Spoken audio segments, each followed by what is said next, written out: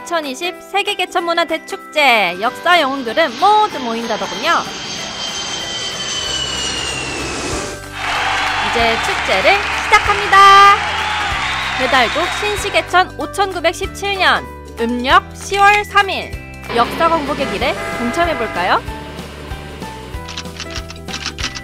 전 세계 1억 한류팬 랜선 페스티벌 왜 사람들은 한국을 알고 싶어 할까요? 네, 진짜 한국을 바르게 알려드립니다.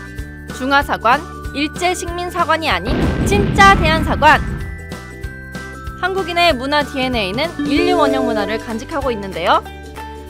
뿌옇고 답답한 역사를 시원하게 뚫어드립니다. 집에서 TV와 컴퓨터로도 보실 수 있고요. 뭐 바쁘시다면 대한사랑 유튜브 채널에서 모바일로 만나면 되죠. 지구촌 한 가족 우주인들도 시청한다고 하네요. 역사 문화의 등불을 반짝반짝 켜드립니다. 1억 한류 팬들과 8,500만 동포와 함께하는 지구촌 온택트 만남 세계 개천 문화 대축제 11월 15일 2시에 만나요. 안녕.